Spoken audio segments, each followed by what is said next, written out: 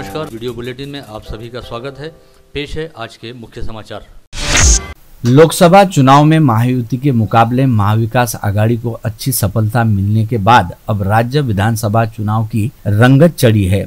अमरावती में तो आघाड़ी के संभावित उम्मीदवारों ने खम ठोक दी है।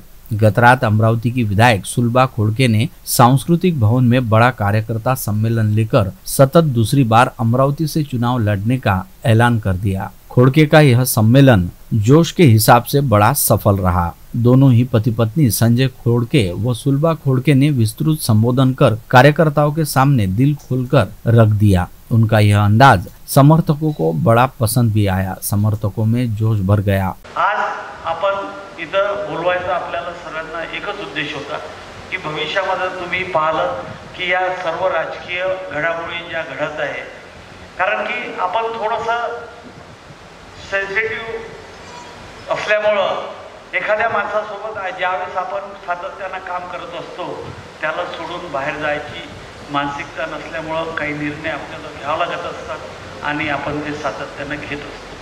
परंतु आज आपण मागच्या वेळेस जसं आपण निवडणुकीची सुरुवात केली होती की आपण आपलं काम चालू ठेवायचं इलेक्शनचं आणि भविष्यामध्ये कारण की लोकसभेच्या इलेक्शनमध्ये आपण सर्वांनी पाहिलं की कोणत्या कोणत्या पार्ट्या कशा कशा लढल्या काय लढल्या. आता विधानसभेमध्ये अजूनही काही चित्र स्पष्ट नसल्यामुळं आपण आपल्या आपल्या सर्व तुमच्या सहकार्याच्या मदतीनं आपण आपलं काम मागच्या वेळेस जसं चालू केलं होतं तसंच चालू करणार आहे. आज आपण सर्वजण आले ते आपल्याला सांगण्यासाठीच आपल्याला सर्वांना इथं बोलावलं. आणि बरेच दिवसापासून आपली सर्वांची भेट व्हाव आणि एक गेट टुगे गेट टुगेदरचा कार्यक्रम होऊन आपल्याशी हितगुज करावं त्यासाठी आपल्याला सर्व सर्वांना बोलावलं. अनेक ऐतिहासिक सभा सम्मेलनों के साक्षीदार रहे सांस्कृतिक भवन में संजय भाऊ आगे बढ़ो और सुलभाताई आगे बढ़ो की गूंज बता रही थी कि विधानसभा चुनाव में खोड़के का दावा इस बार भी मज़बूत रहने वाला है, फिर प्रतिस्पर्धी कोई भी रहे। खोड़के के सम्मेलन में अनेक समर्थक जोश के साथ उपस्थित थे। सुलभा खोड़के ने अमरावती के विधायक के रूप में किए गए कार्यों का विवरण भी इस वक्त उपस्थितों के सामने दिया।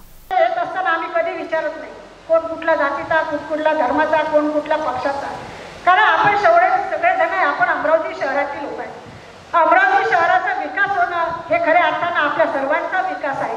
आणि या माध्यमातून अमरावती शहराला जेवढा जास्तीत जास्त पैसा आणायचा असेल तेवढा जास्तीत जास्त पैसे या ठिकाणी खोडके साहेब मंत्रालयात बसून जास्तीत जास्त पैसे आणायचं काम करतात आणि उद्घाटनाचं काम मी निश्चितच अमरावती शहरातल्या कुठल्याही कलेक्टर साहेब कमिशनर साहेबाचं कुठलं काम असेल तर ती मी करण्याचा प्रयत्न करते. छोट्या छोट्या काही अडचणी असेल त्यासुद्धा त्या ठिकाणी करण्याचा प्रयत्न करते. आणि हे सर्व करत असताना मी या ठिकाणी आपल्याला सांगू इच्छिते काय एकच उद्देश होता आजचा कार्यक्रमाचा. त्या कार्यक्रमाला आम्ही गेट टुगेदर म्हटलं. परंतु गेट टुगेदर करत असताना या ठिकाणी आपण या येणाऱ्या दोन हजार चोवीसची निवडणुकीला आपण कसं केलं पाहिजे काय केलं पाहिजे आपला उद्देश काय आहे हा महत्त्वाचा तुमच्यासमोर ठेवण्यासाठी आज या ठिकाणी केलेले आहे. आपल्या या ठिकाणी अमरावती मतदारसंघामध्ये तीनशे चौदा बूथ आहेत. आणि तीनशे चौदा बूथमध्ये एकशे चौदा पश्चिम अमरावतीमध्ये आहे आणि हा आपला भागामध्ये दोनशे दहा बूथ आहे. म्हणून प्रत्येक बूथमध्ये आपण या ठिकाणी येणारी सर्व जी मंडळी आहे ही सगळ्या बूथवाईज आपण बोलत आहे. बूथ आपण सगळ्यांची नावं त्या ठिकाणी तयार केलेलं आहे आणि उपस्थित असल्या सर्वांना मी सांगू इच्छितो आहे की आपण जे बूथवाईज आपल्या सर्वांना बोलवलं आहे तर आपल्या माध्यमातून त्या एरियामध्ये आम्ही कसं यायचं? त्या ठिकाणी असणारी कुठली कामं असेल तिथल्या मिटिंगा काय? कारण शेवटी दोन हजार चोवीसची निवडणूक मी आपल्याला सांगू इच्छिते की आपल्या आशीर्वादानं आपल्या सहकार्याने मला ती निवडणूक लढायची. लढायची आहे पण आपलं सर्वांचं सहकार्य आपण सहकार्य दिलं तर निश्चितच मला यश प्राप्त होईल याचा सुद्धा विश्वास आहे.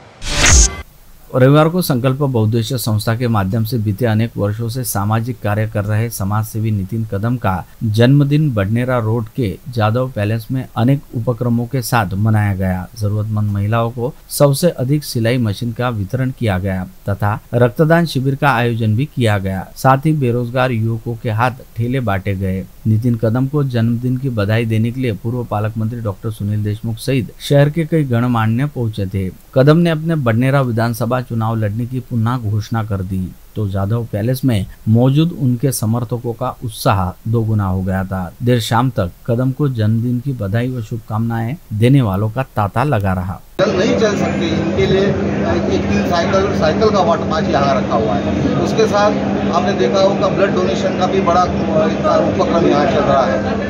तो जो नितिन कदम जो है जो है, उनकी मेरी जान पहचान या मेरी जो दोस्ती है, वो मुझे चालीस साल से है। और बड़ा संघर्ष से उन्होंने अपना व्यक्तित्व बढ़ाया है। और मेरे को ये समाज से जो मैंने लिया है, वो समाज को वापस करना है, इस भावना से वो काम कर हैं। और इस समाज में, इस एरिया में जो भी ज़रूरतमंद हो जो संकट में हो जो कोई दुविधा में हो जो जो, जिनकी शारीरिक अवस्था अच्छी नहीं है, जो बीमार हो, इसके पीछे जात धर्म ये कुछ न सोचते हुए उसके पीछे खड़े रहते ऐसे समाज सेवक को ईश्वर से मैं प्रार्थना करता हूँ करता हूँ कि ऐसे ईश्वर को बहुत लंबी आयु मिले और उनके हाथों से ऐसी ही जनसेवा हर संभव मिले वर्धा के सेवाग्राम स्टेशन पर आज तड़के प्लेटफॉर्म नंबर चार रिले रूम के बगल में स्थित बहुद्देशीय सेवा केंद्र में आग लगने से खलबली मची। सिग्नल कर्मचारियों ने आग की लपटे देखते ही दमकल को सूचित किया। एलएनटी कंपनी की दमकलें फ़ौरन मौके पर पहुँची।